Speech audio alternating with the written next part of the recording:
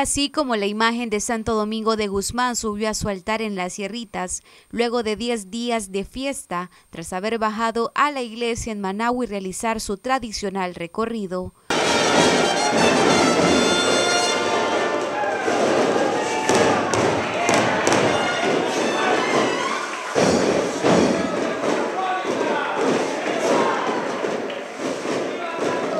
Buenerges Carballo, barroco de la iglesia en Las Sierritas, dijo que este año los feligreses se desbordaron para cumplir su promesa. Yo creo que sí, se ha notado en el desborde de la gente y yo creo que ese desborde tiene que mantenerse en el corazón, en el corazón y para saber darle gracias a Dios, para pedirle y confiar el camino de la iglesia en Nicaragua también bajo la protección de Santo Domingo y de la Virgen María. Sí, yo creo que ha habido poco a poco, creo que no podemos ser puritanos y pensar que todos somos perfectos, pero sí tenemos que ir mejorando, mejorando en la fraternidad.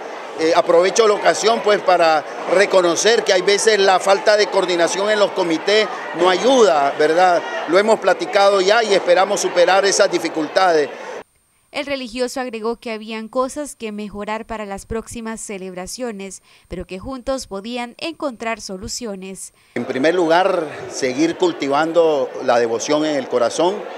En segundo lugar, transmitirlo a las nuevas generaciones. Ya lo vamos viendo, ¿verdad?